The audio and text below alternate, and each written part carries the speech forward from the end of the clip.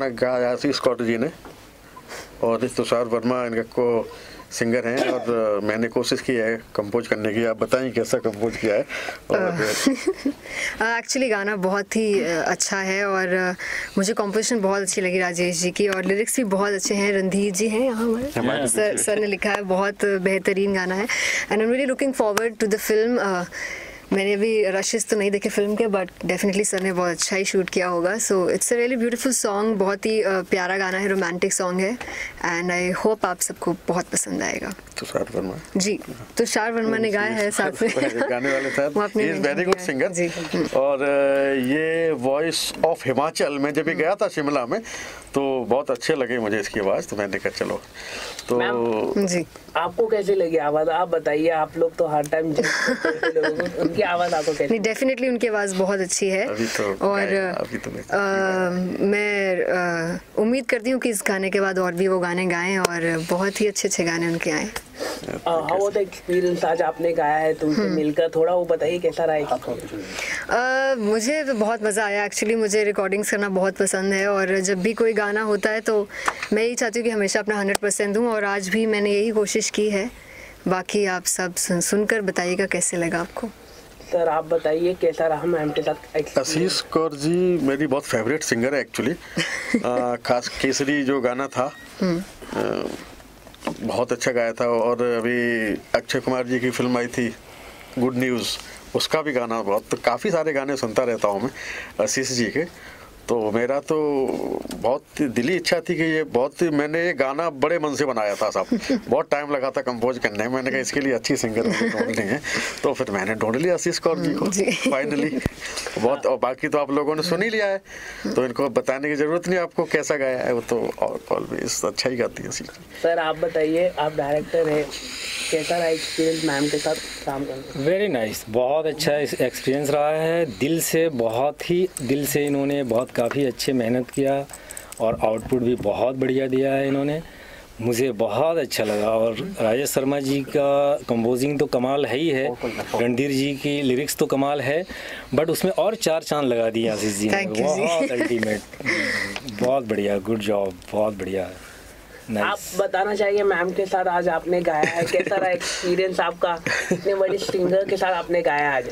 आज काफ़ी luckiest day था मेरे लिए क्योंकि मुझे ऐसे बॉलीवुड सिंगर ले जाए। गाने का मौका मिला और काफ़ी कुछ नया सीखने का मिला मुझे। तो मैं कोशिश करूँ कि मैं और अच्छा निभाऊँ इस गाने को ताकि थोड़ा लगे कि मैं भी कुछ गा पाया मैम के सामने।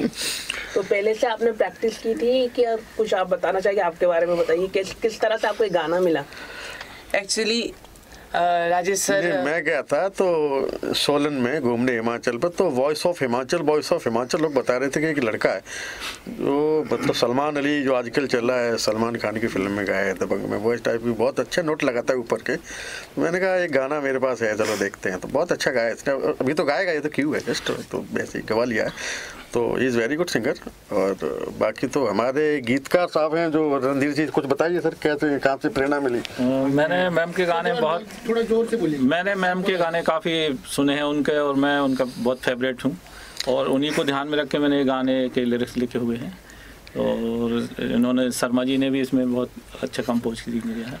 और तो- आवाज़ कितने सॉन्ग होने वाले इस फ़िल्म में? और इसके अलावा और कुछ सॉन्ग होने वाले तीन सॉन्ग और होने वाले हैं।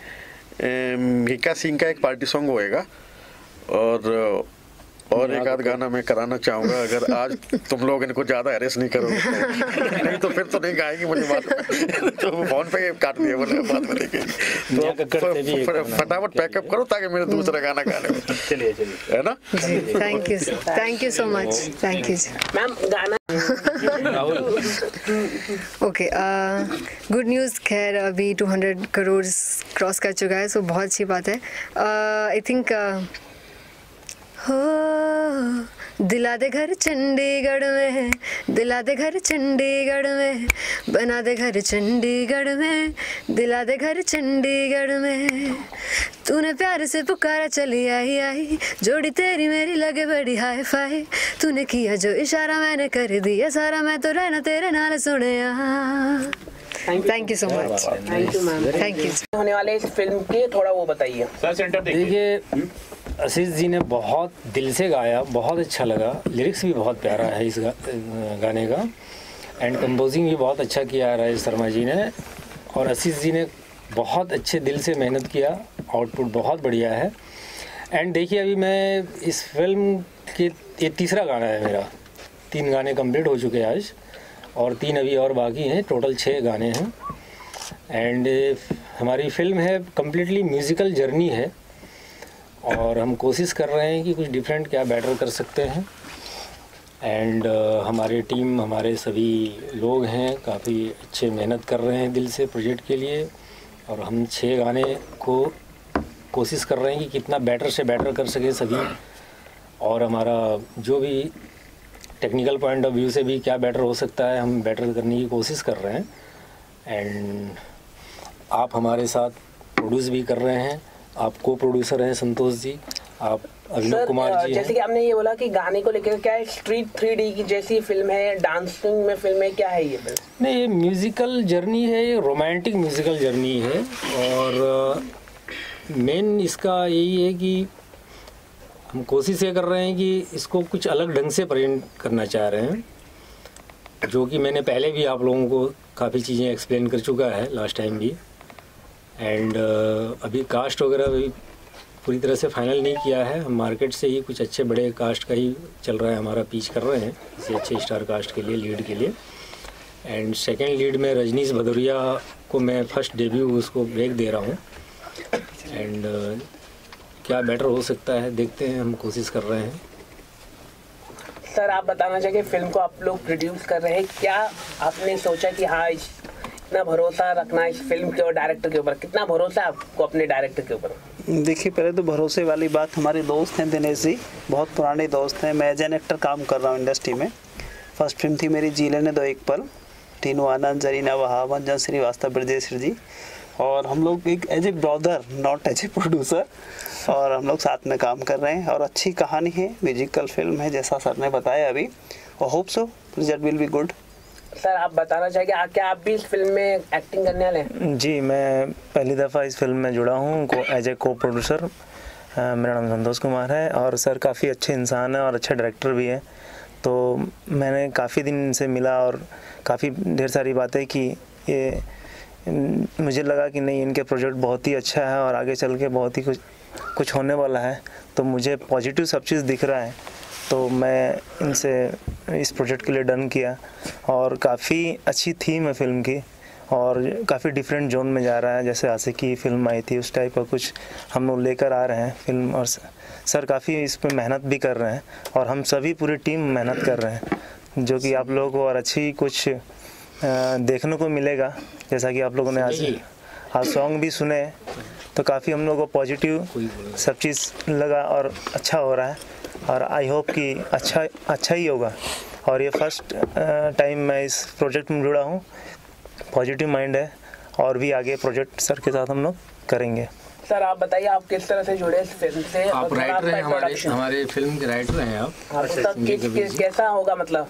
म्यूजिकल फ़िल्म में आशिकी वन को आप टक्कर दे रहे हैं? आशिकी टू को आशिकी वन को। टक्कर दे रहे हैं ये तो हम नहीं बोल सकते। लेकिन बेटर से बेटर करने की कोशिश करेंगे और हमारी कोशिश ये रहेगी कि हमारी पूरी टीम 2020 जो है इस बार जीते। क्या बात है? शुरू हो जाएगी वो बताइए ये 15 मार्च को मैं इसको इसकी फ़िल्म की मुहूर्त कर रहा हूँ एंड अप्रैल से फ्लोर पे आ जाएगा आ जाएगा कम्प्लीटली तो कब तक ये इसकी ट्रेलर आउट होगा? मतलब आप लोगों ने सोचा होगा। ये होगा अक्टूबर ऑलमोस्ट अक्टूबर नवंबर तक। थैंक यू सो मच काफ़ी अच्छा लगा और काफ़ी कुछ सीखने को मिला और कोशिश ये रही कि मैं भी इस तरह अच्छा निभाऊं और थोड़ा मैम के आसपास रहूँ ताकि मैं भी लोग कुछ गा रहा हूँ कि नहीं गा रहा हूँ। ओके कुछ गा दीजिए। क्या गाया आपने? थोड़ा गाने वाले क्या? इसी गाने को गाता हूँ जो गाऊँगा मैं।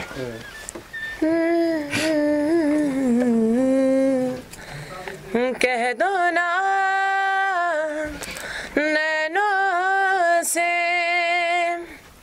इश्क बेजुबा है कह दो ना कह दो ना नैनों से। इश्क बेजुबा है कह दो ना कुछ ऐसे। कब से आपने अपनी शुरुआत की थोड़ा वो बताइए करियर आपने कैसा शुरुआत किया आपने कब से आप मैं करीब आठ साल की उम्र से सीख रहा हूँ और मैं सोल हिमाचल प्रदेश सोलन में सीखता हूँ और मैं जैसे आठ साल की उम्र सीख रहा हूँ और मैंने अपने दो एल्बम्स निकाले।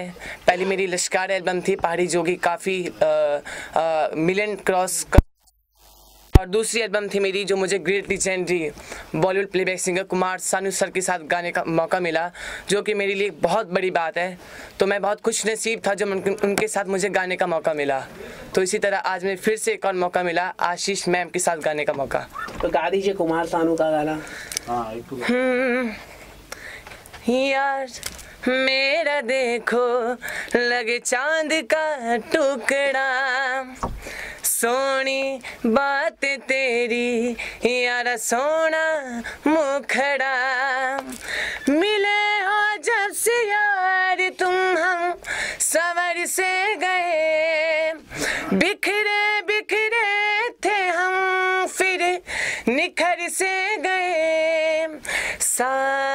सारे मन के मेरे बजने लगे।